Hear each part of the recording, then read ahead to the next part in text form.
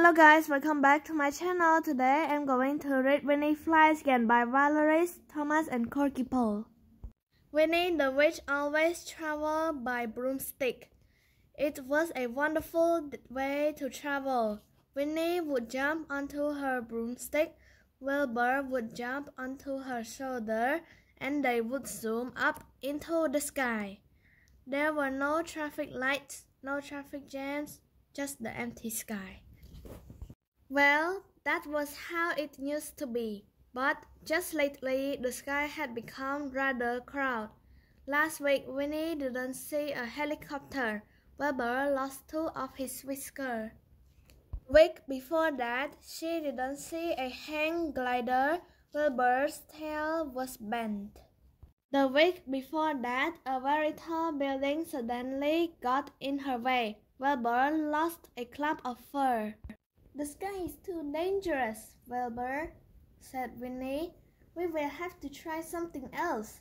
So she took out her wand, waved it, and shouted, Abracadabra! Her broomstick turned into a bicycle, but it was very slow, very hard to pedal. And then a pond got in Winnie's way. She should look where she's going. Croak a frog a bicycle is worse than a broomstick, Wilbur, said Winnie. We will have to try something else. So she took out her magic wand, waved it, and shouted, Abracadabra! Her bicycle turned into a skateboard. The skateboard was fast, but it was hard to steer and impossible to stop. Winnie was stopped by an ice cream seller. Can't you see where you're going? he shouted. A skateboard is worse than a bicycle, Wilbur, said Winnie. We will have to try something else. So she took out her wand, waved it, and shouted, Abracadabra! Her skateboard turned into a horse, and they trot slowly down the path. This is much better than bicycle or skateboards, said Winnie, but she didn't see. The low branch of a tree this time. Winnie didn't say anything. She was hanging from a branch. Slowly and carefully, Winnie climbed down from the tree. I think we will walk home, Wilbur, said Winnie. They limped slowly along the road.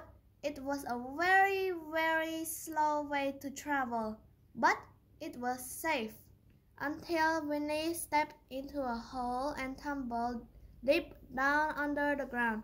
I think I need a cup of tea, Winnie said. Winnie climbed out of the tunnel and went into a shop. A cup of tea and a muffin, please, she said, and a saucer of milk for my cat. We don't sell cup of tea or muffins, said the shop lady, and we don't have saucer of milk but I think I can help you. And she sold Winnie a pair of spectacles. Now Winnie and Wilbur travel everywhere by broomstick. It's a wonderful way to travel.